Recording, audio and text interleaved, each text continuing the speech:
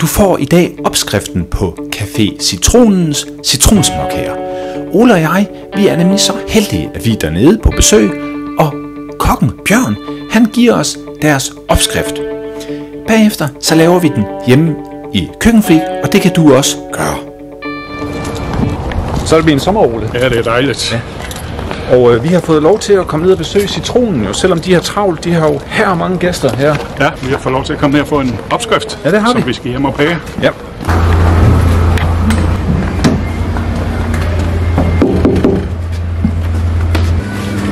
Godmorgen. Der står en derovre og, og gør klar. Godmorgen. Nu kommer de, eller hvad? Yes, der har vi dem. Åh. De er populære. De er populære, yes. Hver gang de får en kop kaffe, får de lige en citronsmåkage med. Ja. Ole, skal du lige smage en gang? Og øl med. Den kan smage god. Dejligt frisk smag. Ja, og der er fisk her. Der det, er, er, fisk, det, der er havkat. det er noget, citronen gør meget i. Ja, det kan vi godt lide. Nu er det jo ikke lige fisk, det skal Det handle er om. ikke lige fisk, nej. Det er jo småkager. Ja. Og da vi hedder citronen, så har vi selvfølgelig nogle citronsmåkager også, som der er jo meget populære. Ja. Hver gang man får en kop kaffe, te hernede, får man en småkage. Hvis ikke, at Jesper han når at spise dem alle sammen. så kommer skattekortet. Kom fra gemmerne. Alle de gode gamle opskrifter fra, fra gennem tiden. Så kommer vi jo frem til den hemmelige opskrift, som der ikke er hemmelig mere. Nu går vi frem i medierne med den. Og vi er altså helt alvorligt talt bedt over, at vi må få lov til at lave en test. Det må I i hvert fald. Og Bjørn, der skal jo noget citronkoncentrat i. Ja. Det har man ikke normalt jo. Nej, det er noget, vi kan købe ind for vores verden. Og så vil jeg anbefale, at man bare bruger citronsaft i stedet for. Ja. Og der kommer citronkoncentrat. Ja, Uh, det er flydende. det er flydende, ja. Vi siger mange tak. Velkommen. Tak. Kan jeg få så god dag? God Tak. varm dag. Tak, tak. Hej, hej. hej. Ole, det bliver da kanon spændende. Ja, det er rigtig spændende. Ja. Hej hej. Tak. Tak. God dag. Tak lige måde.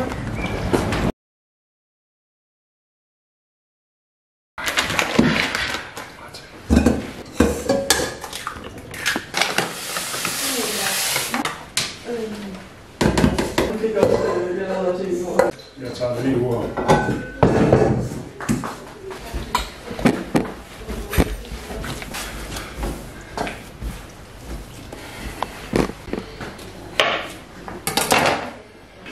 Nu har vi lavet opskriften som citronen. Vi har bare valgt at dele den i to. Så laver vi en nøjagtig som citronen gør, med citronpasta. Og så laver vi vores egen variant med friske citroner. Ja, fordi øh, jeg derhjemme, og selv inklusiv, vi har ikke det her. Nej, Så vi laver to varianter. det gør vi.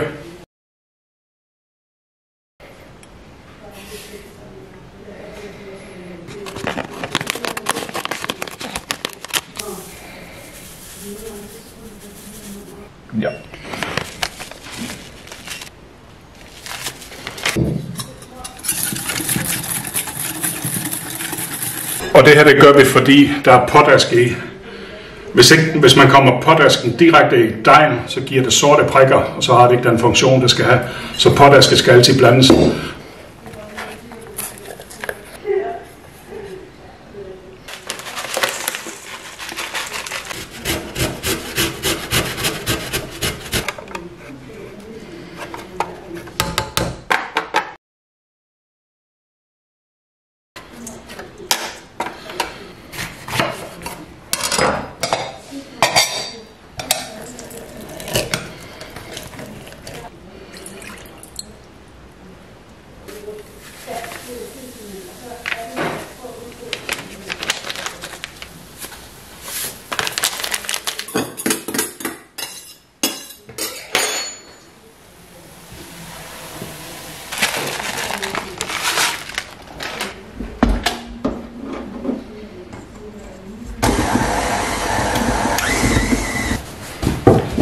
Ole, den her den er jo lavet på margarine. Ja, det er Men øh, hvis det skal være helt rigtigt, så sagde Bjørn nede på citronen, at det gjorde det ikke længere. Det var deres op, oprindelige opskrift. Ja, Der var brugte man, margarine. det brugte man jo i gamle dage. Ja, og du kan ikke udstå margarine. Nej, det skal være smør.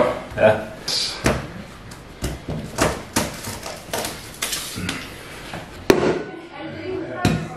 Er der et trick der, Ole, til... Ja, det er der. Hvis man gør sådan, Åh oh, ja. Så bliver den lige tyk over det hele. I stedet for at stå sådan, så er det svært at gøre, lave den lige tyk. Ja.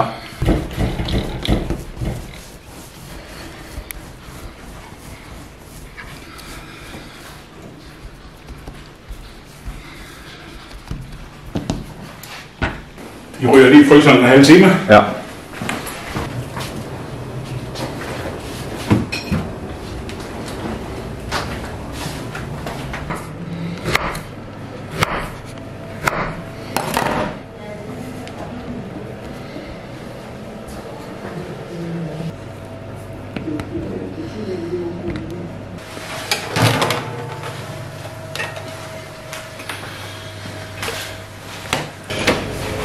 Det her det er dem, vi lavede med citronsaft, og det er nok derfor, de flyder lidt mere.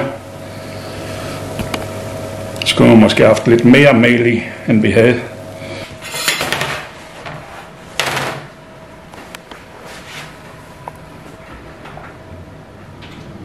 Nå, Ole.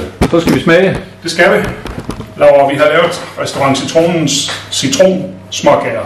Uha. Og den her over, det var den med saft, så de løb lidt ud. Og Ja. den her, det er med koncentrat. Ja, Ja. Hvad smager? Den her? vi smager den her først. Wow, Citronsmagen, den kommer bagefter. de er dejligt friske. De er rigtig gode. Så lige, nu får vi ikke kaffe i det, Ole. Nej. Det er godt med ned på citronen. Skal vi prøve den anden?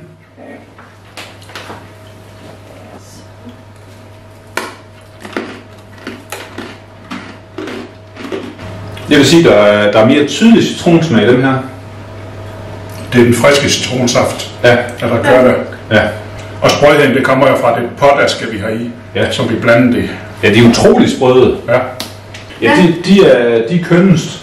Det er, Er de kønnest? de er æstetikken, ikke? De er jo, og her, herover der er, der er smagen bare mere tydelig. Så tusind tak til Café Citronen. Nogle gentlemen. Det må vi se. Deler ud af sin hemmelige opskrift. Ja, nu er den ikke hemmelig mere. Nej, Hej, hej. Dag, Bjørn. Dag, Så vil du lige at lave fisk. så er der havkat. Jeg har en lille gave til dig. Er der småkager? Ja, vi har.